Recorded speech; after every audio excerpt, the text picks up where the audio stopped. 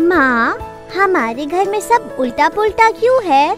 सबके घर का नमक वाइट हमारे घर में पिंक और रोटी का रंग भी सबसे अलग क्यों है? बेटा, इनके अलग होने में ही इनकी खासियत है, क्योंकि हमारे घर का नमक कोई ऐसा वैसा नहीं। हिमालय से आता है, पूरा चौरासी मिनरल्स के साथ। बिल्कुल प्योर और नेचुरल बिना किसी केमिकल प्रोसेस के। और रोटी का रंग दूसरा होगा ही, क्योंकि हमारे आटे में चोकर है। जो हमारी और आपकी सेहत के लिए लाभकारी है।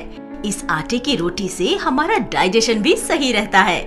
हम्म मतलब नंदी के सारे प्रोडक्ट्स हमारी सेहत को ध्यान में रखकर बनाए गए हैं।